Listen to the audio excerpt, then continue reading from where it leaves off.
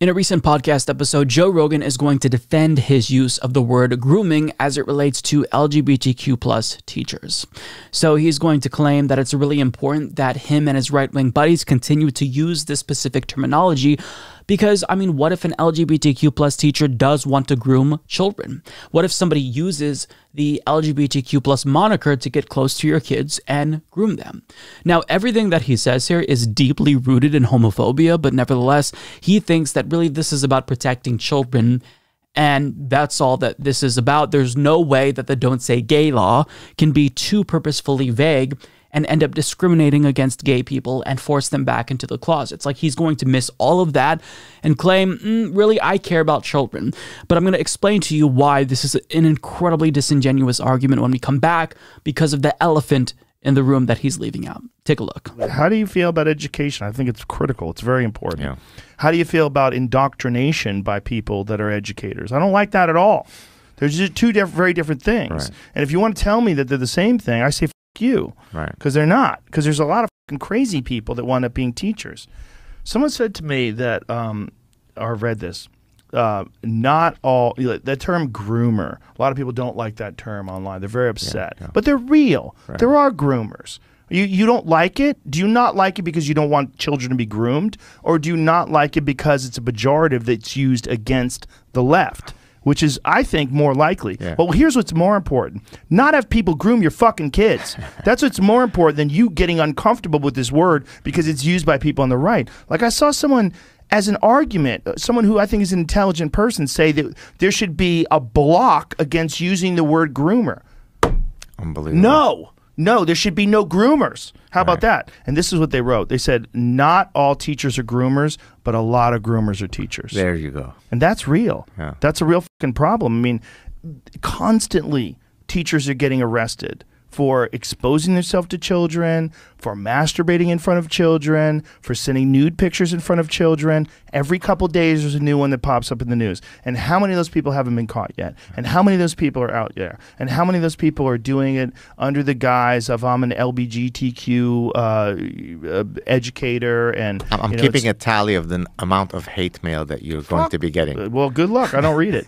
I, it's the there's people that are good people in all walks of life. Trans people, gay people, straight people, bisexual, whatever the fuck you are. There's good people in all walks of life. There's also pieces of shit that will use those labels in order to get closer to groups of people and indoctrinate them. And indoctrinate them for their own sexual pleasure. And that's real.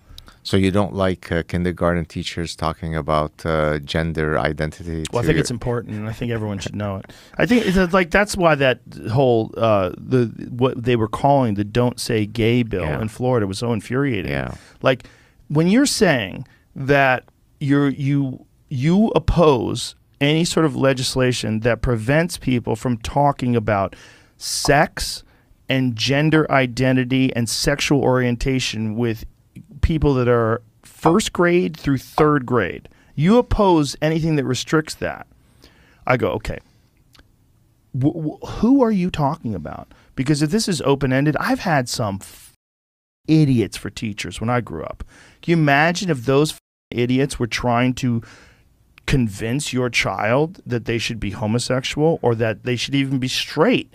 Imagine if you have a kid that's gay. Never mind you have a- convincing. but- How about just don't address, don't, right. don't talk Don't. about this But issue. That's my point. My Yeah. point is imagine if you have a gay child and you have a f- teacher that's trying to indoctrinate your child into the world of heterosexuality and convince your child that they're going to burn in hell Right. if that child is gay.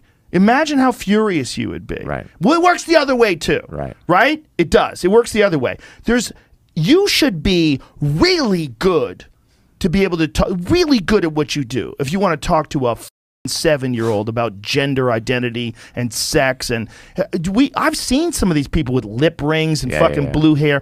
They clearly are ideologically bound. I'm not saying there's anything wrong with the way they live their life. I'm not saying there's anything wrong with them pursuing whatever sexual identity they have and living their life. But I'm saying you should not be the person that talks to children about this, Yeah. especially if you're a fucking history teacher. Yeah, and you're the last person, Joe Rogan, who should be talking about vaccines given how misinformed you are, but you couldn't shut up about that for like a year. So, you know, some people just won't stay in their lanes. So it's ironic for you to make that point. But he's going to claim that indoctrination is bad. No disagreement there. We have common ground, actually. Uh, the problem is that he's not being honest about who does the indoctrination. It's not LGBTQ plus people who are indoctrinating your children. It's the right. I mean, from as young as I could remember, I had religion pumped into my brain, and it made me absolutely miserable. So if you care about children and you're talking about indoctrination, it's really dishonest of you to conveniently leave out your right wing buddies and how much they love religion and how at a very young age they pump religion into the brains of children. But yet you claim that LGBTQ plus people might want to indoctrinate your children. But that's not something that can happen. It doesn't happen, and that's because it's literally impossible because you don't choose to be gay or transgender. You can't choose your sexual orientation. You don't choose to have gender dysphoria. And if it were a choice, I'd argue that because society is not accepting of LGBTQ people, I mean, it's it's improving, right? But because society still, you know, stigmatizes these groups, most people would choose to not be gay or transgender if they had that choice, but it's not a choice. But really, what this is about is LGBTQ plus teachers uh, not indoctrinating children, but instilling values into children. I mean, teachers are going to instill values in kids. When I was in kindergarten, I remember my teacher telling me about sharing and how it's based. Uh, so if a kid uh, asks about the photograph on their teacher's desk and it's, you know, it features two guys, and that teacher explains, well, this is my partner, this is my spouse, and that teacher instills respect and acceptance into that child, that's a good thing. That's just teaching that kid to be a good person, to be loving and accepting. It's not grooming that kid. But the Don't Say Gay bill is so purposefully vague that it doesn't just rule out sexual discussions, which people aren't advocating for in grades K through 3. It basically makes it so that way these teachers have to pretend as if gay and trans people don't exist so as to not break the law. It's forcing people back into the closet. So if a kid sees her teacher at the store and she's with her same sex partner, then she could say, Who was that you were with? Was that your friend? And then if the teacher answers honestly and says that was my wife, that teacher could be fired under this law. We don't know what the parameters are. It's purposefully vague so as to scare teachers back into the closet. And that's what Joe Rogan refuses to acknowledge. Now, he also says here that the term groomer, a lot of people don't like that term online. They're very upset, but they're real. There are groomers. Nobody's denying this. Nobody's denying the existence of groomers. And we also think that grooming is indeed bad. Of course, sexually grooming children is bad. The problem is that telling a kid that gay people exist in an age appropriate way is not tantamount to sexually grooming a kid. If you believe that, then you also have to believe that if uh, two parents, a mommy and a daddy, kiss in front of their kids, then they're also sexually grooming their kid. But nobody would say that. They would say, oh, well, that's actually really lovely because you're showing that kid what a loving relationship looks like. But if it's a gay couple that kisses in front of kids, all of a sudden it's a different story. See, it's a double standard. That's grooming, but when straight people do it, it's not grooming. And this is all deeply rooted in homophobia. You know, if a kid sees that gay people exist or trans people exist, they're going to think it's so amazing. They're going to be lured into it and they're going to want to try it. Not how it works. Not how it works at all. He also says that um, do, do people not like it because it's a pejorative used against the left? He asks this question, and I love that he just admits that it's a pejorative now used against the left. So, I mean, that's if you're making the case for this word, I think that you should probably define it first of all. But he goes on to say, here's what's more important not have people groom your kids.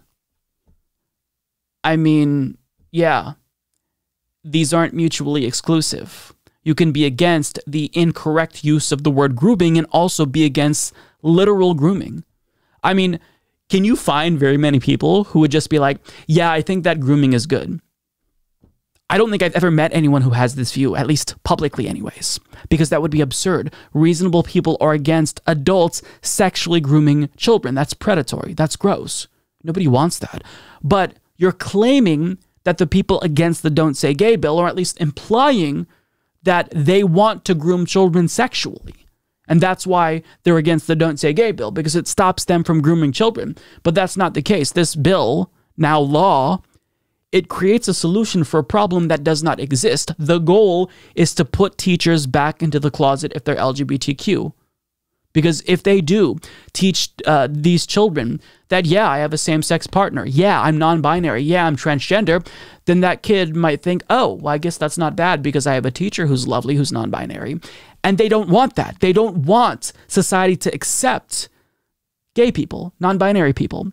So they're the ones doing the indoctrination because they don't want people to accept individuals who are different. That's what this is about. It stems from homophobia and transphobia. It's deeply anti-LGBTQ+, but Joe Rogan is deluded enough to think that Republicans actually care about children. Is that so? If you care about uh, children, Joe Rogan, why do you not talk about the grooming that we see in, in the Catholic Church? I mean, how many evangelicals are Catholics? I mean, is that not part of your political wing now? Catholics and the sex abuse scandal, grooming children. They're the ones literally indoctrinating children into a religion and grooming them. And yet you're talking about LGBTQ plus people as if they're the predators.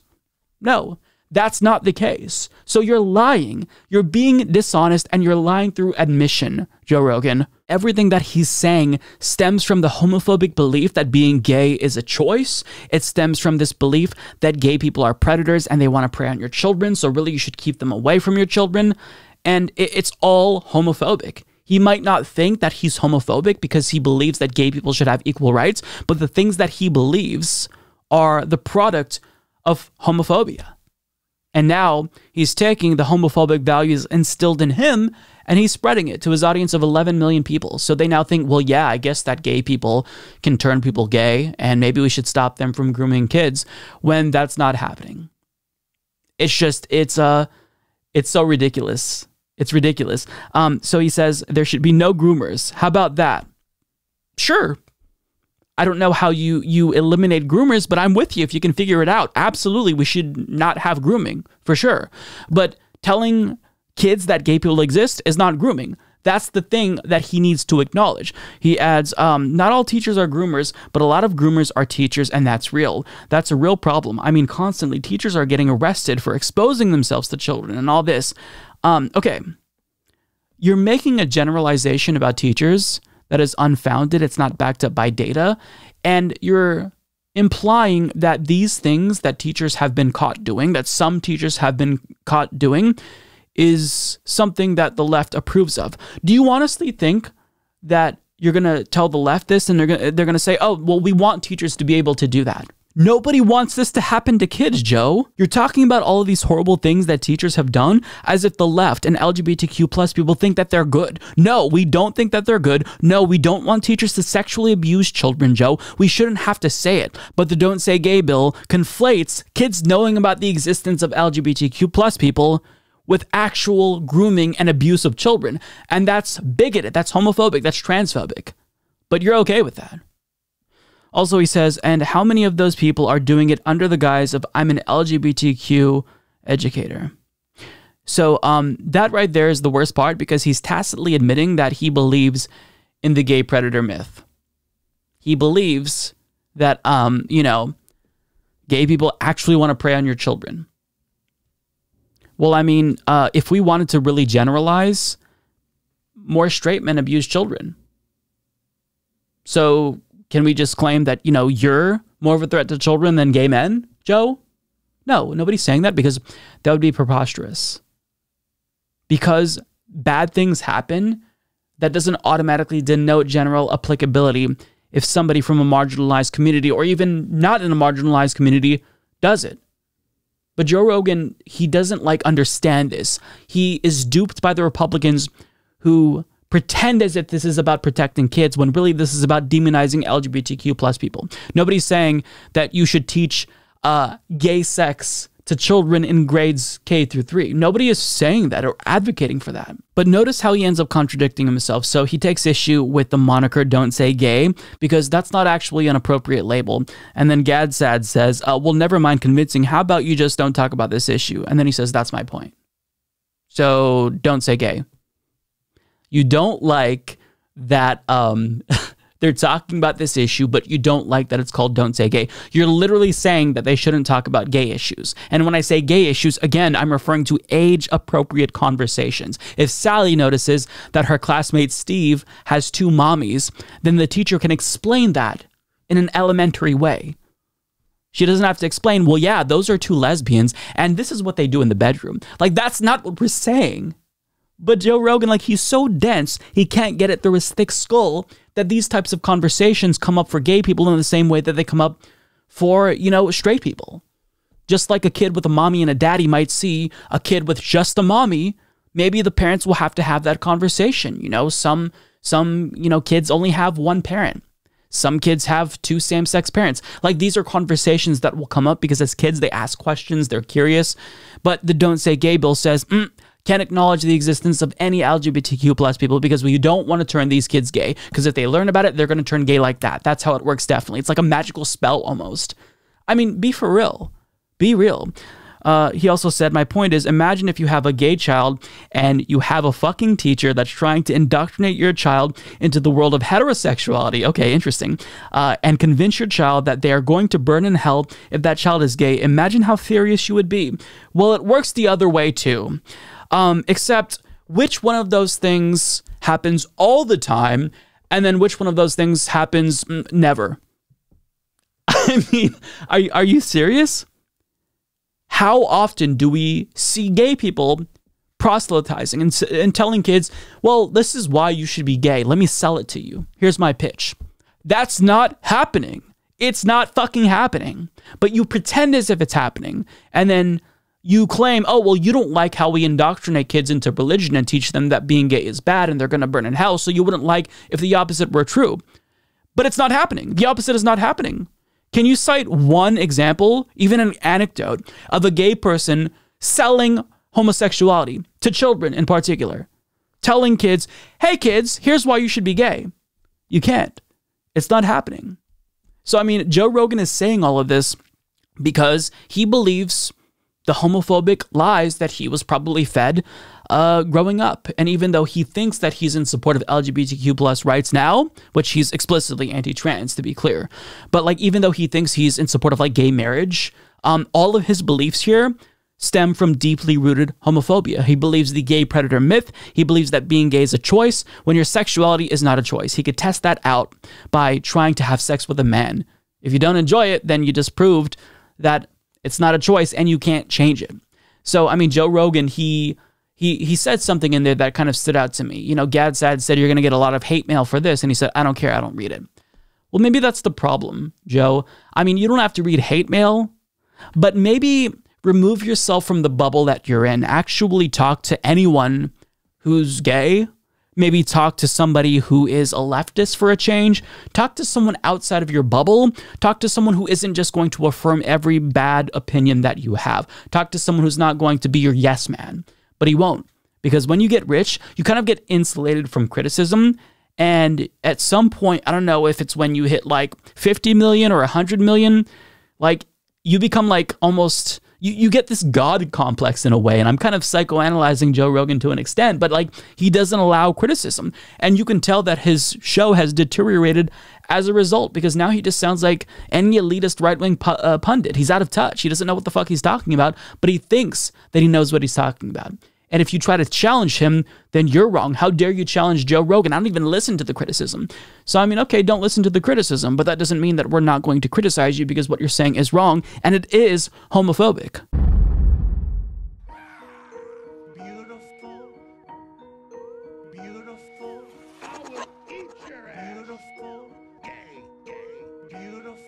tremendous, tremendous, tremendous, tremendous, tremendous,